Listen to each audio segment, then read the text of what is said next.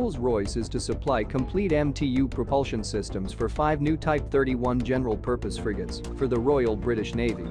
In total, the order comprises of 40 engines and generator sets to be used for main propulsion and on-board power generation, the MTU Callosum propulsion control and monitoring system, and integrated logistics support.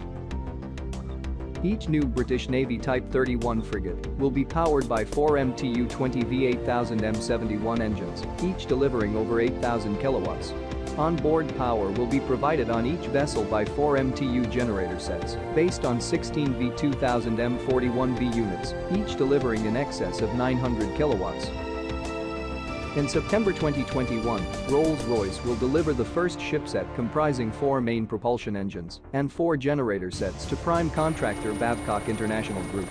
Integrated logistics support for propulsion and onboard power systems will ensure efficient and cost-effective maintenance throughout their entire service life. It is expected that the MTU Callosum propulsion control and monitoring system will be officially added to the supply contract very shortly. Sean Donaldson, Managing Director for Energy and Marine at Babcock International, said, We're delighted to welcome Rolls-Royce with its MTU solutions as a supplier to our Type 31 program. Its engines and on-board generator sets are already proving their mettle in numerous comparable vessels worldwide. The Royal Navy relies on Rolls-Royce propulsion solutions across its surface and submarine fleets. MTU Series 2000, 4000 and 8000 units will feature in future in most Royal Navy warships and destroyers, Type 45, all frigate classes, Type 23, 26, 31, and submarines, Astute class.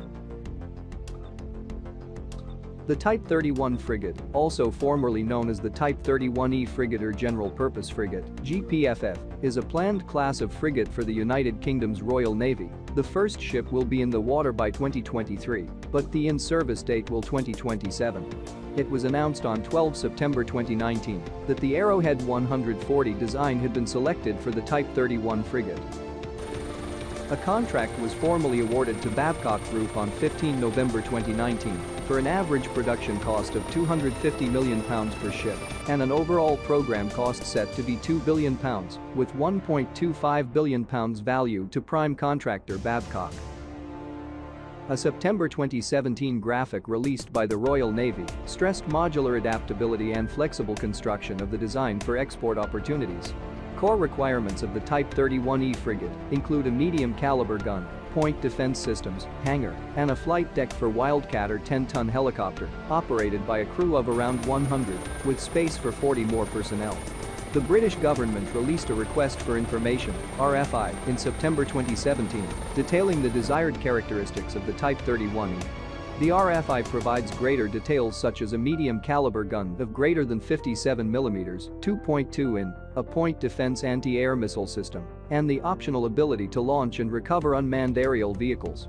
Forces News reported that the design will contain Sea-Ceptor missiles, an advanced air and surface surveillance, and target indication radar, such as the Thales NS-100, and be able to operate either an AgustaWestland Wildcat HM-82 or an AgustaWestland Merlin HM-2.